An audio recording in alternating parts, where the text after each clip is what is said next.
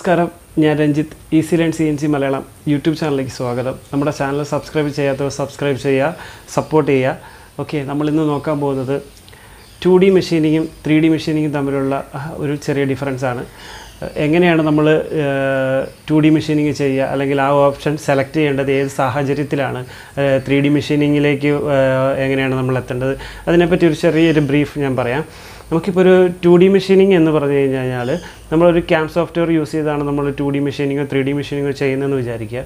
അപ്പോൾ അതിൽ നമ്മൾക്ക് ടു ഡി മെഷീനിങ് ആണ് നമ്മൾ ചെയ്യാൻ ഉദ്ദേശിക്കുന്നതെങ്കിൽ ഒരു കാരണവശാലും നമുക്ക് അതിന്റെ എക്സ്ട്രൂട്ടഡ് ഇമേജ് അല്ലെങ്കിൽ ത്രീ ഡയമെൻഷണൽ വ്യൂ ഉള്ള ഒരു ഒബ്ജക്റ്റ് നമുക്ക് ആവശ്യമില്ല. നമുക്ക് അതിന്റെ ലൈൻ ഡ്രോയിങ്ങുകളെ ബേസ് ചെയ്തായിരിക്കും നമ്മൾ പ്രോഗ്രാം ചെയ്യുന്നത്. അതേ സ്ഥാനത്ത് നമ്മളൊരു ത്രീ ഡി മെഷീനിങ് ഓപ്ഷനാണ് നമ്മൾ ചൂസ് ചെയ്യുന്നതെങ്കിൽ നമ്മൾ ചെയ്യാൻ പോകുന്ന എന്ത് വർക്കാണ് നമ്മൾ ചെയ്യാൻ പോകുന്നത് അതിന്റെ ത്രീ ഡയമെൻഷണൽ വ്യൂ അതായത് നമ്മൾ ഒരു വർക്ക് ഉണ്ടാക്കി കഴിഞ്ഞ് കഴിഞ്ഞാൽ അത് എങ്ങനെയാണോ അതിന്റെ ഔട്ട്പുട്ട് വരുന്നത് അതേ രീതിയിലുള്ള ഒരു ഇമേജ് നമ്മൾ ക്രിയേറ്റ് ചെയ്തെടുക്കണം. ഏതെങ്കിലും ഒരു ഡിസൈനിങ് സോഫ്റ്റ്വെയറിലിട്ട് അതിനുശേഷം മാത്രമേ നമുക്ക് അതിന് ത്രീ ഡി ഓപ്ഷൻസ് ചൂസ് ചെയ്ത് നമുക്കൊരു മെഷീനിങ് ചെയ്തെടുക്കുക പ്രോഗ്രാം ചെയ്തെടുക്കാൻ പറ്റുള്ളൂ. അപ്പം ടു ഡി മെഷീനിങ് എന്ന് പറഞ്ഞു കഴിഞ്ഞാൽ ശരിക്കും ലൈൻ ഡ്രോയിങ്ങുകളെ ബേസ് ചെയ്തിട്ട് നമ്മൾ ടൂൾ പാത്ത് ഉണ്ടാക്കുന്നതാണ് ശരിക്കും ടു ഡി മെഷീനിങ് എന്ന് പറയുന്നത്. ത്രീ ഡി മെഷീനിങ് ശരിക്കും നമ്മൾ ഉപയോഗിക്കുന്നത് ഇറഗുലർ ഷേപ്പുകളെ നമുക്ക് ഉണ്ടാക്കിയെടുക്കാൻ വേണ്ടിയിട്ടാണ്. ഇപ്പോൾ ഒരു എന്താ പറയുക ഒരു കർവ്ഡ് ഏരിയ അല്ലെങ്കിൽ ഒരു തിരമാലയുടെ ഷേപ്പ് പോലെ ഒരു ഏരിയ നമുക്ക് മെഷീൻ ചെയ്തെടുക്കണം. അത് ഒരു കാരണവശാലും നമുക്ക് ടു ഡി മെഷീനിങ് വെച്ച് നടക്കില്ല.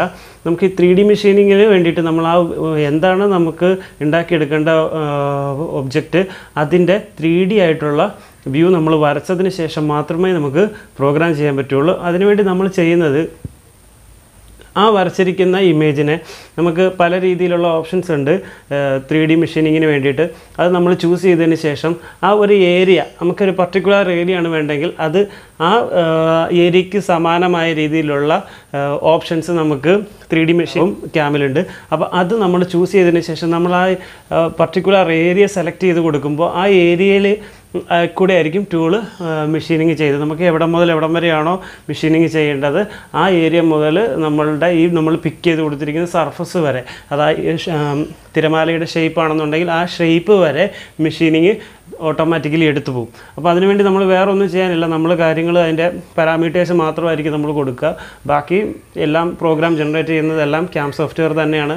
അപ്പോൾ നമ്മൾ വലിയ പേടിക്കേണ്ട രീതിയിലുള്ള ഒരു സംഭവമൊന്നുമല്ല ത്രീ ഡി മെഷീനിങ് എന്ന് പറയുന്നത്. അത് ഏതൊക്കെ ഓപ്ഷൻസ് ചൂസ് ചെയ്താണ് നമ്മൾ ചെയ്യേണ്ടത്? അല്ലെങ്കിൽ അതിന് പറ്റിയ ഓപ്ഷൻസ് ചൂസ് ചെയ്യാനായിട്ട് നമ്മൾ പഠിക്കുക എന്നുള്ളതാണ് ഇപ്പോൾ ഒരു ഡിസൈൻ ചെയ്തൊരു വർക്ക് ഉണ്ടെന്നുണ്ടെങ്കിൽ നമുക്ക് കറക്റ്റായിട്ട് അതിന്റെ ഏത് രീതിയിലുള്ള ഓപ്ഷൻ ചൂസ് ചെയ്താലാണ് നമുക്ക് ആ വർക്ക് കംപ്ലീറ്റ് ചെയ്യാൻ സാധിക്കുക എന്ന് മനസ്സിലാക്കാനുള്ള ഒരു ചെറിയൊരു ലോജിക്ക് ഉണ്ടെന്നുണ്ടെങ്കിൽ നമുക്ക് പ്രോഗ്രാം ഈസി ആയിട്ട് ചെയ്തെടുക്കാം. അതുപോലെ തന്നെ ടു ഡി മെഷീനിങ് നമുക്ക് മാനുവലായിട്ട് എഴുതാനായിട്ടും എളുപ്പമാണ്. അതിന് കുറച്ച് സൈക്കിൾസുകളൊക്കെ നമ്മുടെ സി എൻ സി മെഷീനുകളിൽ അവൈലബിൾ ആണ്. അപ്പോൾ നമ്മൾ മാനുവൽ പ്രോഗ്രാമിങ്ങിനാണ് നമ്മൾ ഉദ്ദേശിക്കുന്നതെങ്കിൽ ഒരിക്കലും എക്സ്ട്രൂട്ടഡ് ആയിട്ടുള്ള ഒരു ഫിഗർ നമ്മൾ ഉണ്ടാക്കിയെടുക്കേണ്ട ആവശ്യമില്ല. നമുക്ക് ശരിക്കും ടോപ്പ് വ്യൂവിൽ നിന്ന് കാണാൻ സാധിക്കുന്ന ലൈനുകളെ ആയിരിക്കും നമുക്ക്. അല്ലെങ്കിൽ ആ ഒരു ലൈൻ ഡ്രോയിങ് ആയിരിക്കും നമുക്ക് ആവശ്യം. അപ്പോൾ അത് നമ്മൾ ശരിക്കും ക്യാമിലിട്ട് വരയ്ക്കുക.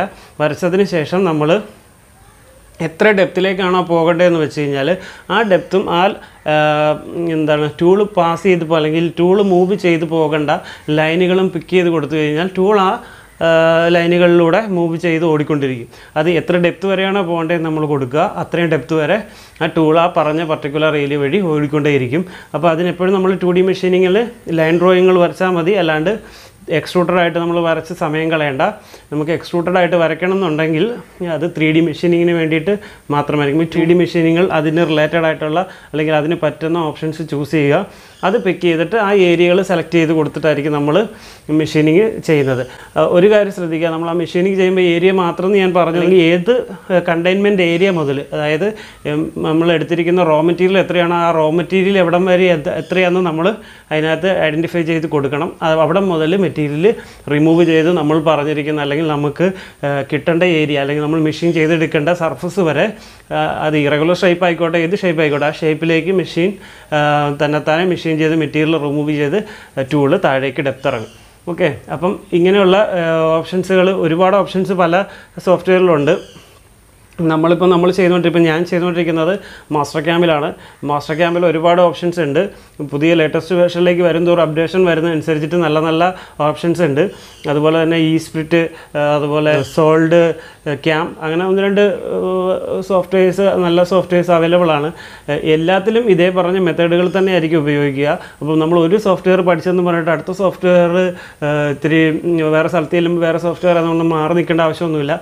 നമുക്കത് ഈ ഒരു സോഫ്റ്റ്വെയർ അറിഞ്ഞിരുന്നെങ്കിൽ നമ്മൾ അടുത്ത സോഫ്റ്റ്വെയറിലേക്ക് എത്തുമ്പോൾ നമുക്കത് ഈസി ആയിട്ട് പഠിക്കാൻ സാധിക്കും. അപ്പം ശരിക്കും ത്രീ ഡി മെഷീനിങ് നമ്മൾ ഉപയോഗിക്കുന്നത് ഡൈ വർക്കുകൾക്ക് വേണ്ടിയിട്ടാണ്. അതായത് നമുക്ക് ഒരു ബക്കറ്റ് ഡിസൈൻ അല്ലെങ്കിൽ ബക്കറ്റ് ഉണ്ടാക്കിയെടുക്കണം. അപ്പോൾ അതിന് മോൾഡ് ഉണ്ടാക്കണം നമുക്ക്. അപ്പോൾ അങ്ങനെയുള്ള മോൾഡ് വർക്കുകൾ കാര്യങ്ങളൊക്കെ ചെയ്യാൻ വേണ്ടിയിട്ടാണ് കപ്പിന്റെ മോൾഡ്. അപ്പോൾ അതെല്ലാം അതിനെല്ലാം ഷേപ്പുകൾ പല രീതിയിലായിരിക്കും വരിക.